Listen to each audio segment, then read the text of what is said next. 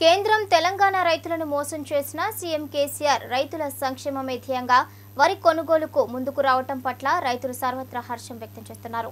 నిజామాబాద్ జిల్లా బాల్కొండ మండలం మోర్తాడ్ సొసైటీ పరిధిలో సొసైటీ చైర్మన్ బద్దం కళ్యాణ్ అశోక్ ఆధ్వర్యంలో వరి కొనుగోలు కేంద్రాల ప్రారంభోత్సవానికి ఎంపీపీ శివలింగ శ్రీనివాస్ మండల రైతు సమన్వయ సమితి అధ్యక్షులు దేవన్న వైస్ చైర్మన్ వేనవీన్ తదితర నాయకులు పాల్గొన్నారు. మంత్రి ప్రశాంత్ రెడ్డి ఆదేశాల మేరకు పూజా కార్యక్రమాలను నిర్వహించారు.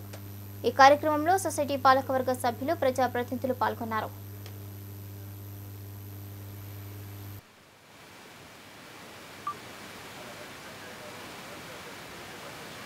గారు